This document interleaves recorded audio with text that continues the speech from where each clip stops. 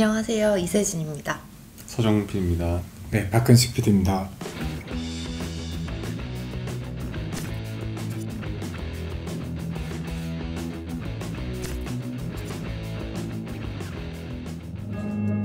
강원도 춘천 소양강이 북한강과 만나는 곳에 자리한 작은 섬 중도.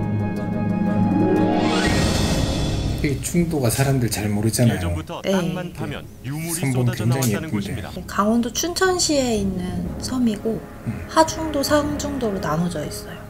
레고가 개발되는 곳은 하중도. 실제로 레고랜드 코리아가 이 섬이 너무 음. 예뻐서 음. 여기에 꼭 레고랜드를 세우고 싶다고 했다고 발굴됐습니다. 하더라고요. 그러니까 섬 자체 그 위치도 좋고 네. 예쁘고 예. 국사 교과서에 청동기 시대를 다시 써야 한다는 얘기까지 나올 정도였습니다. 그런데 중도 유적지가 파괴될 위기에 처했습니다.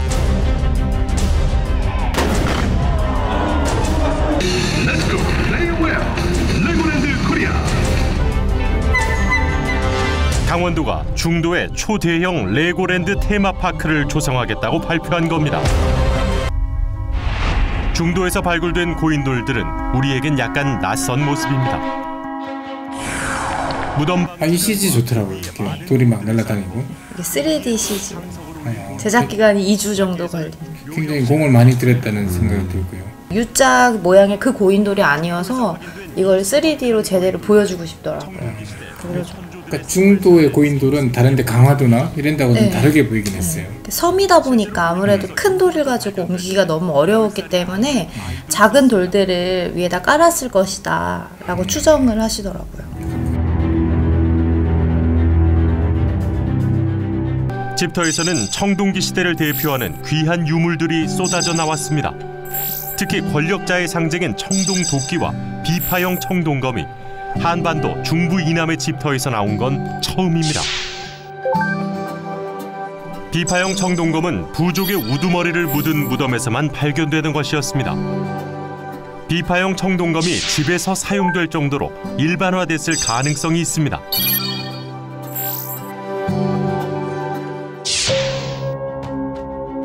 국내에서 최초로 청동기 시대의 네모난 환호도 확인됐습니다. 환호는 취락을 방어하기 위해 만들어진 도랑인데 이를 중심으로 917기의 집터가 밀집해서 발견됐습니다. 둘레 404m에 이르는 환호는 청동기 시대 마을을 이해할 수 있는 획기적인 자료이자 한반도 고대사를 다시 써야 할 유적으로 평가됐습니다. 이 환호라는 게 이게 거의 도랑이죠 이게. 도랑보다는 훨씬 깊어요. 사람의 키보다 훨씬 더 아, 크고 그래요? 이게 왜 의미가 있냐면 원래 중국에서 발견됐고 일본에서 발견된 거예요. 네. 우리나라에서 발견이 안 되니까 일본에서 우리가 더 우수하다 이런 식으로 주장을 했었는데 드디어 우리나라에서 이 방영 환호가 나온 거죠. 이날 열린 매장문화재 평가회의에서 중도 유적의 평가 점수는 91.77점, 원형 보존 기준인 76점보다 훨씬 높습니다. 결론은 보존을 원칙으로 한다는 것.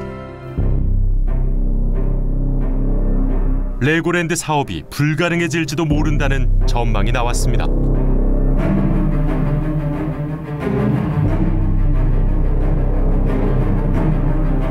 그런데 개발이 강행됐습니다.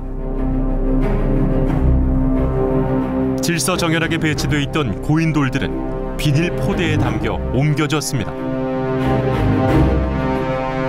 고인돌 일부는 잡석으로 취급됐습니다. 레고사의 여러 가지 활동들을 어, 레고로 표현한 게 재밌었다. 우선은 뭐 레고랜드의 사업 예정제였기도 했고 레고의 특성을 강화해서 아이템과 재현 이미지를 더 긴밀하게 연결하고 싶어가지고 이번에 한번 시도해봤습니다. 그 시간은 좀 거의 하루 종일 걸렸어요. 근데 한 시간 정도 찍어야 10초를 나가는. 레고랜드 사업 부지에서 발견된 고인돌들을 다른 곳으로 치우고 예정대로 그 자리에 레고랜드를 지을 수 있게 허가해 준 겁니다. 게다가 환호가 있는 보존 지역을 빼고는 레고랜드 놀이시설을 지을 수 있게 승인해 준 상황. 배수관로 같은 공사도 해야 할 텐데 아무리 흙으로 덮더라도 유적에 전혀 손상이 없을지 의문이 듭니다. 중요한 유적이 훼손될 수 있는데도 왜 개발을 허가해 준 걸까? 당시 매장 문화재 분과위원장은 우리에게 문건을 보여주었습니다. 기록 보존. 기록 그러니까 실물 기록 보존이라 그러면 진짜 보존을 제대로 할 것처럼 느껴졌는데 그게 아니고 그냥 기록으로만 보존한다는 얘기인 거죠. 네. 그러니까 나 이게 되게 황당하더라고. 그러니까 유적 보존으로 나왔어야 되는 건데 어. 기록 보존으로만. 기록 일반인들에게 일종의 말장난으로 어. 그러니까. 그 보존한다고 알았는데 기록 보존이 개발하라는 뜻으로 네. 실제는 사용되니까 기록 보존을 하라는 건 개발해도 된다는 암묵적인 신호. 발굴을 시작하기도 전에 이미 모든 것이 결정돼 있었던 겁니다. 조건부 개발 허가가 난 배경에 당시 박근혜 정부의 입김이 작용했을 거라는 의혹이 있습니다. 당시 박근혜 대통령은 레고랜드 사업을 5대 현장 대기 프로젝트에 선정하고 현장을 찾아 독려했습니다. 레고랜드 진입 교량까지 만들어 주었습니다. 레고랜드가 조성되는 중도와 춘천 시내를 연결하는 다리를 놔주며 전폭적으로 지원했습니다. 강원도는 레고랜드 사업 추진을 위해 시행사인 LL 개발을 설립했습니다. 당시 LL 개발의 총괄 대표였던 민건홍 씨.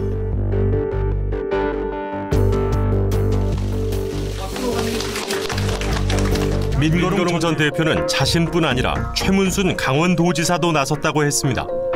최문순 지사가 문화재 위원들을 만나 레고랜드 사업을 진행할 수 있도록 설득했다는 겁니다. 도지사로서는 할 만한 일 아닌가 싶기도 했어요. 네네. 좀 문화재 위원들 만나고 설득하는 게 그런 점들은 이해해야 될 거예요. 네. 강원도로서는 매우 절박할 수 있다. 네. 근데 이제 문제는 유적을 그러니까. 제대로 보존하지 않고 개발만을 위해서 로비를 하러 다녔다는 게 이제 저희의 문제의식. 거기에 문제가 있는 거죠. 전임 문화재 청장이 8개월 만에 경질되며 임명된 나선화 청장. 교체 배경을 놓고 말들이 많았습니다. 잘 안 되니까 문화재 청장을 임기도 안 됐는데 갈아치운 거야. 임기도 안 됐는데 나선화 청장으로. 근데 레고랜드가 그렇게 문화재청장의 자리가 걸릴 정도로 그렇게 중요한 사업이에요? 왜냐하면 당시에 때 관광 수입이라는 게 박근혜 정부 때 중요한 과제였고 우리나라가 아직까지 글로벌 테마파크가 하나도 없어요. 아 예를 들면 뭐 디즈니 랜드라든가. 유니버설이라든지 레고랜드 이렇게 3대 테마파크가 있다면 일본이나 중국이 이미 속속 들어오고 있잖아요. 뭐 도쿄에 디즈니랜드가 있고 오사카에 유니버설이 있고 상하이에도 디즈니랜드가 있고 이게 그 관광 수입 핵심적인 건데 우리나라에는 디즈니 이런 것들이 위치가 안 되다 보니까 레고랜드가 되게 중요하게 여겨지는 건 맞았던 것 같아요.